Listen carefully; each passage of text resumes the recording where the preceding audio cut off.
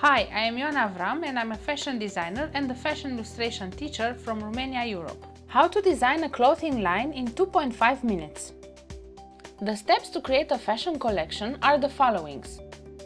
First, the research, and for this I choose the image in the left side of the screen. Then the documentation sketches, this means I draw the image with as many details as possible. Only drawing a thing you will get to understand it and understand how it was made. When doing this, I feel like capturing its essence. When drawing anything, I try to underline the elements that compose the image. In this case, the three elements are the followings. The wire cage, the Renaissance collar and the small ribbons.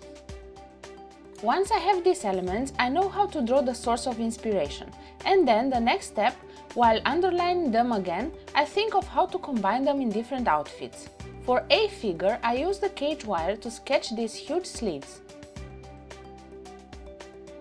Then the pattern used in the collar was placed on the blouse and the rest I left simple. Because as I said in other videos too, it is always nice to have an equilibrium and not to overcrowd the costume. For the B figure, the cage was put upside down so that it created a volumetric blouse. The collar pattern I used it for the lower part of the sleeves.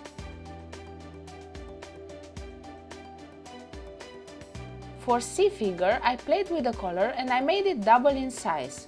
As about the ribbons that I did not use until now, now is the moment to exaggerate the volume, so here it is, a huge ribbon as a short skirt. So the three elements you can compose and combine as you want and as you saw in this video. And now, if you rotate the image, new ideas will come. You can use each element, resize it, make it as a module, big or small, use parts or the whole element.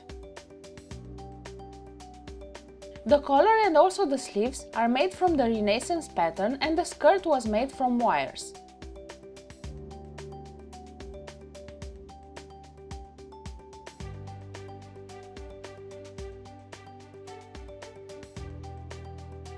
This time, the ribbons are smaller, disposed in the middle.